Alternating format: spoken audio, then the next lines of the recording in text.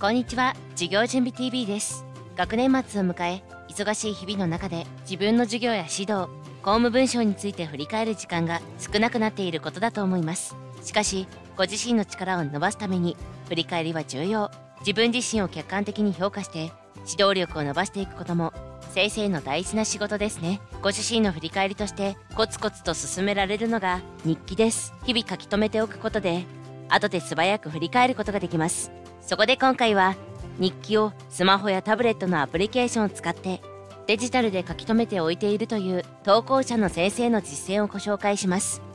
このチャンネルでは先生に役立つ情報を毎日配信しておりますのでチャンネル登録お願いします。iPhone でも Android でも多くの日記アプリがあります。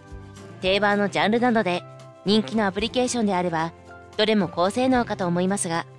写真を複数枚保存できる機能自動バックアップ機能プライバシー保護機能検索タグ付け機能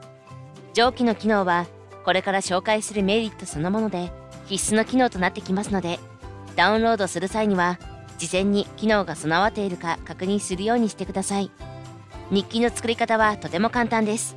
まず自分の授業の板書や公務文書に関わる記録を写真で撮ります。そしてその写真を日記アプリに貼り付け評価のコメントを書き込めば完了です。このように写真とコメントを即座に紐付けられることはデジタルならではの特徴ですね。作成した日記は紙の日記のように劣化することはありません。またバックアップ機能が備わっていれば作成した日記は自動的に保存されているので万が一端末を水没させたりうっかりアプリケーションを消してしまってもデータは残ります。さらにプライバシー保護機能もあれば誰かに見られてしまう心配もありません。書き溜めた日記を振り返るときに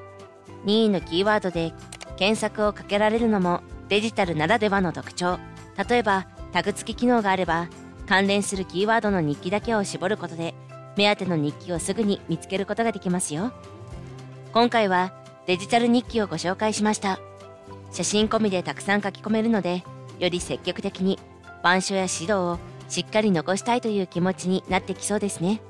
デジタルのデータなら何十年経っても色あせず先生ご自身の財産にもなるかと思いますので是非作成してみてください。本日の動画が役に立った面白かったと思っていただけましたら高評価チャンネル登録をよろしくお願いいたします。最後までご視聴いただきありがとうございました。それではまた明日お会いしましょう。さようなら。